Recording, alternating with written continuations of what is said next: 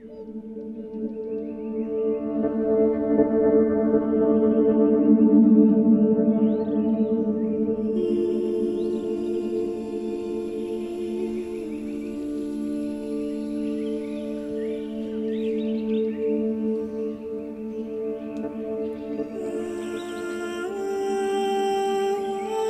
name is Munir Virani, and this is a journey, a journey across a very special place.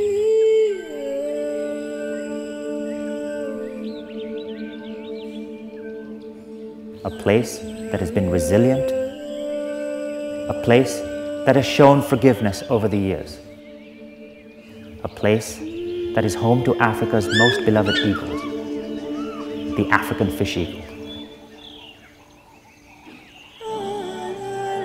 whose characteristic call symbolizes the call of Africa.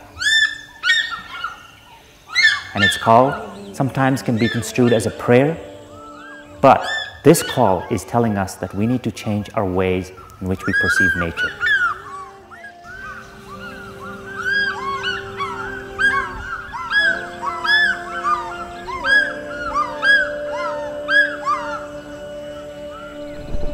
These eagles are Africa's most spectacular eagles, and I began my love affair with them 20 years ago. And this is a journey tell you about Africa's most beautiful and spectacular eagles, the African fish eagle.